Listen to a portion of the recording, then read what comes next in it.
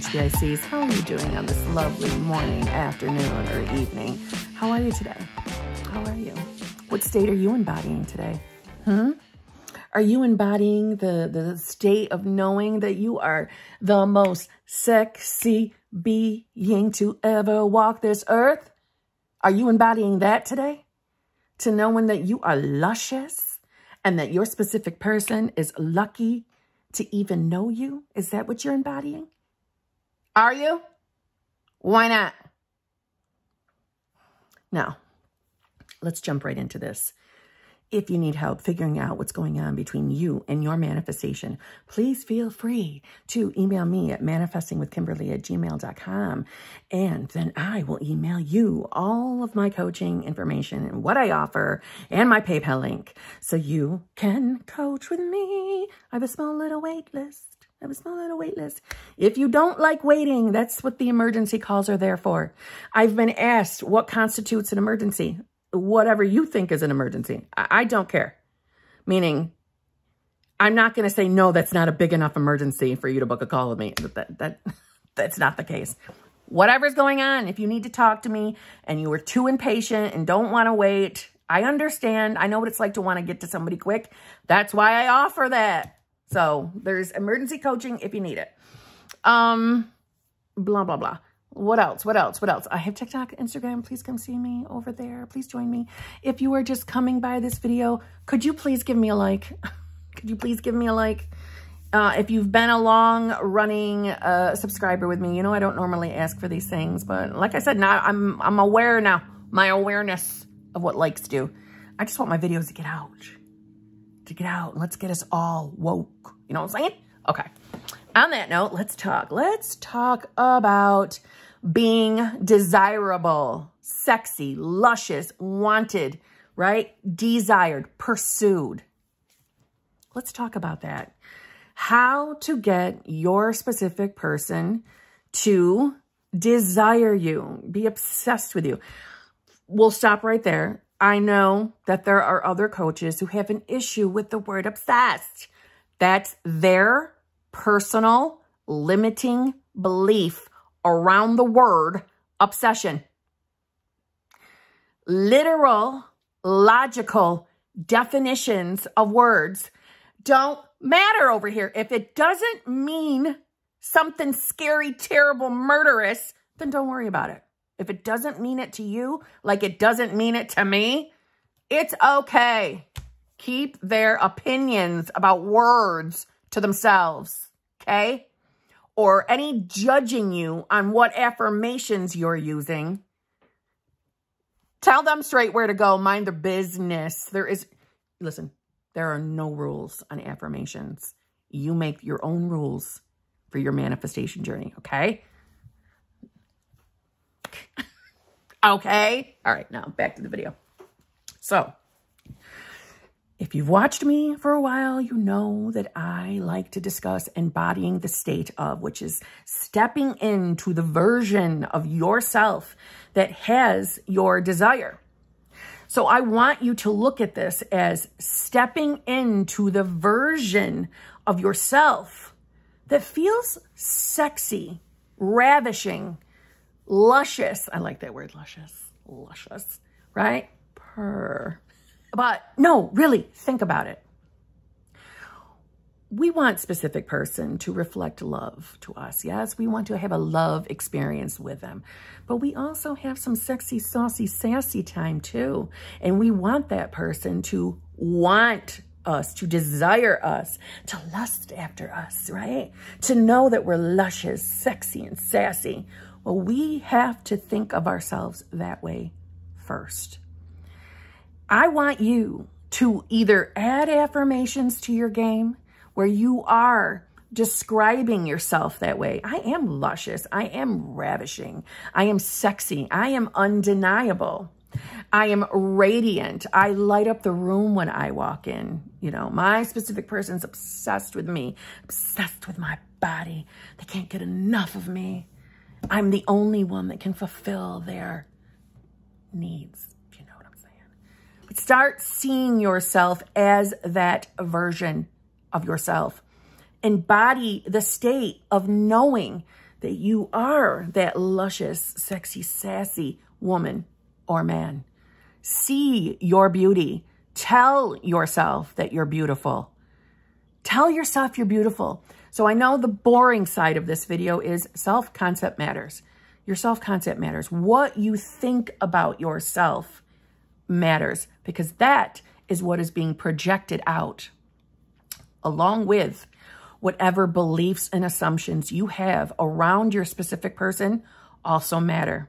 If there's anything brewing within you that they that you think that for whatever reason that they're not attracted to you or, you know, they would rather be with someone else, someone more attractive. And let me just say this. We tend to be our own worst self-critics.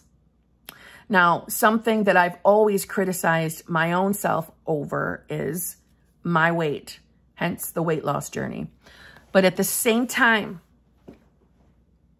the, the only reason why weight started coming off of me was because I did have to address my own self-concept about my own body, about my appearance. So if you know that you're busy criticizing yourself, we got to work on that. We got to let that go. You need to find, find it within yourself to realize how beautiful or handsome you already are. Now, I'm not judging you if you want to lose weight or if you don't want to lose weight. No matter what size you are, that doesn't matter. We're beautiful no matter what we look like. And we have to accept, we have to accept that, accept our own beauty. Now, this video isn't about weight loss or anything like that, but I'm bringing that up, that little, little, little nugget. I'm bringing that up because, listen, self-worth, self-love is important. We need to know that we're beautiful. We need to feel it. So please be working on that. Look yourself in the mirror and tell yourself, I am beautiful. I am luscious. I am sexy. I am worthy and deserving of having a relationship with, put SP's name in, who is absolutely entranced by me. He's entranced by me or she's entranced by me. She's under my little love spell or he's under my love spell. He can't get enough of me. So start talking to yourself like that. Begin embodying that feeling, if that's a struggle to go there, start asking yourself the what if questions. What if it was easy for me to accept that I am beautiful as I am? What if it was easy for me to accept that I am sexy and that I am worth being on someone's arm? I am beautiful. I am handsome. What if it was easy for me to accept my own self-worth? What if it was easy for me to wake up to the idea that I am good enough, sexy enough, ravishing enough right now? What if I woke up tomorrow and realized that my specific person is absolutely entranced by me? He can't get enough of me. He's all over me in a good way. can't get enough of me. He's all over me. He's entranced by me. Start embodying that. Start embodying that. I'm telling you, you're going to start carrying yourself differently. You're going to feel differently. You're going to feel differently up here too. And you watch that specific person start showing up in a way that it's like you're undeniable. They can't get enough. You're like a sexy, sassy cheesecake and he just wants to keep biting. You're like a sexy, sassy apple pie, and he just wants to keep eating. You're like a Tootsie Pop. He wants to just keep a licking, because how many licks does it take till you get to the center of it? You know what I'm saying? All kidding aside, because you know we like to joke around on my channel. Start affirming scripting, visualizing your specific person being totally, totally entranced by you under your own little love spell. It's like you're giving out your own little love spell to keep them sexually aroused for you. and just you. It's just another way of thinking of remote seduction. You will begin to carry yourself differently. You're going to start seeing the beauty in yourself. Listen, size, age, your shape, none of that matters. We are all beautiful, and sexy, or handsome in our own individual ways. Of course, your specific person can't stop thinking about you. They can't get enough of you. They're head over heels in love with you. They think about you endlessly, morning, noon, and night. They're totally obsessed with you. Of course they are. Because you're beautiful, you're sexy, you're sassy, you're bewitching. Think of it like that.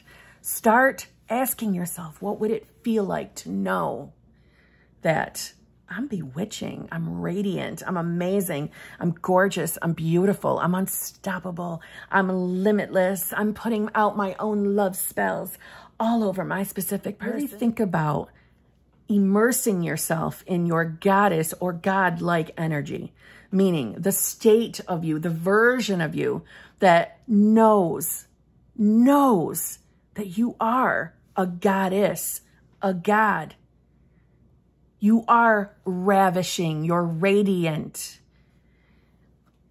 He thinks you smell amazing. He thinks you look amazing. Everything about you excites him or her. They are ravished. They want to ravish you. You don't always have to do remote seduction word for word like the books. You can do it just by stepping into that version of yourself. Seeing yourself as being bewitching, entrancing, you know, sexually satisfying, sexually undeniable, inescapable, and wants to pleasure you. And you want to pleasure your specific person. You both are mutually pleasuring each other and satisfying each other's needs. But think about it. What would it feel like to you to be bewitching, entrancing, and just giving out every ounce of sexual energy and aura? Now, at the same time, to bring it back down a notch, listen, there is nothing wrong with manifesting a specific person and also having the wants and the desires to have a sexual experience with them. Doesn't that come with relationships?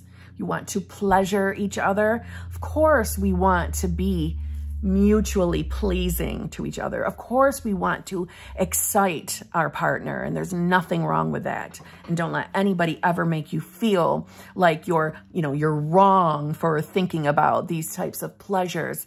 That's the whole point of being with our specific person because that's the person you're going to open yourself completely to. So start affirming, start scripting, start visualizing. You know, I am beautiful. I know I'm sexy. I'm ravishing. I'm radiant. I like using, I am entrancing. I'm bewitching. I'm unstoppable. I'm limitless. I'm beautiful. I'm sexy. I'm sassy. And I truly believe I am all of those things. What would it be like for you to actually start seeing yourself that way? Get yourself your specific person. See yourself as someone who is undeniable. It's undeniable. It's inevitable that they'll be after you. They'll be obsessed with you. They won't be able to stop themselves from pursuing you and having you. And please, don't let anybody else's limited perspectives on having fun with manifestation. And that's all it is. It's just having fun. It's excitement. And there is nothing more fun than sharing a pleasurable experience with the person that you're in love with and who obviously loves you back. There's nothing wrong with that. So have fun. Have fun maybe you see yourself as, I don't know, Marilyn Monroe or Jessica Rabbit. See yourself as a bombshell, a sexual bombshell, sexy, sassy, and saucy. Yes, step into this version of yourself because it exists. It exists within you. There is a version of you who knows her or his own beauty, his own allure. We are alluring. I love that bewitching, entrancing, alluring. radiant. I'm here to be ravished. Step in to your state of complete and utter ravishment. Is that a word? Don't deny yourself fun while manifesting. Don't deny yourself fun. To add in some remote seduction tips, these are the times where perhaps, you know, it's bedtime. Maybe you're heading to Betty Bye time and you start thinking about, I don't know, pleasuring yourself. Those are the moments you want to envision your own specific person and envision whatever it is that pleasures you with your specific person. See it in your mind. See it in your imagination. I'm not much of a um, visualizer myself, but even in those moments, we can visualize. Picture it. Feel it with your senses, being with your person. That's essentially remote seduction. So go be that bewitching, sexy, sassy, saucy, undeniable, alluring woman or man that I know you can be. Don't ever limit yourself. Enjoy every moment because there's going to be a lot more.